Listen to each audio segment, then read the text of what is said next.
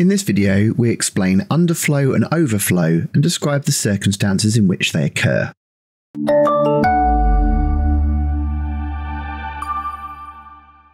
When storing numbers, we must consider the limitations of the storage format.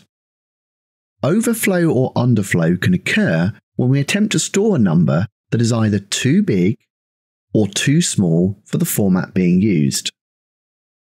Underflow occurs if a number is too small to be represented in the format provided. Using the representation shown here, the smallest number we can store is 0.0001, or 1 16th, or as a decimal, 0.0625. Let's say we performed a calculation that resulted in the answer 0.0075. Well, it can't be stored in this representation.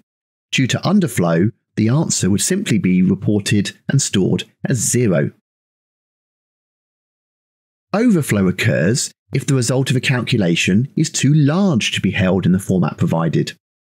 In this example, we see the numbers 118 and 33, and they can both be stored in binary accurately in this format. However, if we attempt to add them together, the resulting decimal number is 151, and that's too large to store in this format.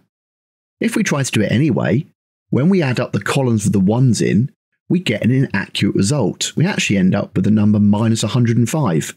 An overflow has occurred, the number here is meaningless.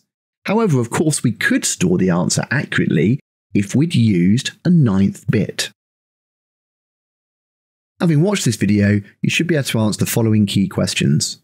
What is overflow and underflow, and when can these situations occur?